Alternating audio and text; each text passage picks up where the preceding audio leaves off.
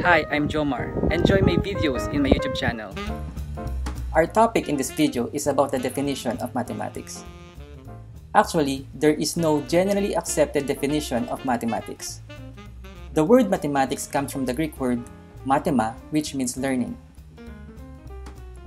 Based on my perspective, mathematics is about patterns. To make it more precise, it is the systematic study of patterns based on logic, specifically deductive logic. What does systematic mean? For me, this means that math is a formal language with accepted rules and grammar. The symbols, notation, statements, and practices in mathematics are all part of the language system that the mathematical community has developed. Mathematics is about patterns of structures and relations, whether physical or abstract. Pattern is not just about numbers, it just so happens numbers have patterns.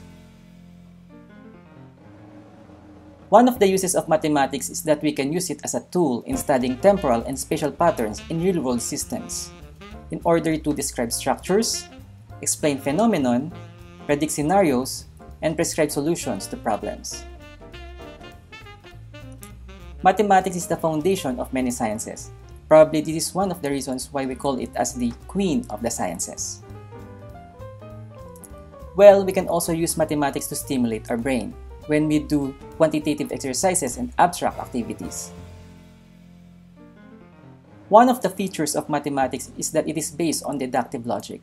Math has philosophical underpinnings from axioms to theorems.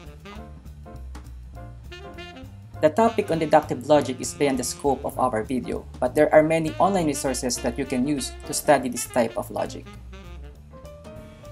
Again, mathematics is the systematic study of patterns based on deductive logic.